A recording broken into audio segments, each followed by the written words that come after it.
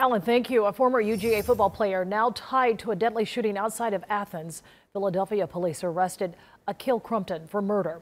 Crumpton, you may recall, was a wide receiver for UGA back in 2017 and 2018.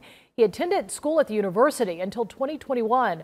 Oconee County deputies believe he is involved in the killing of gas station clerk Elijah Wood at a RaceTrac last month.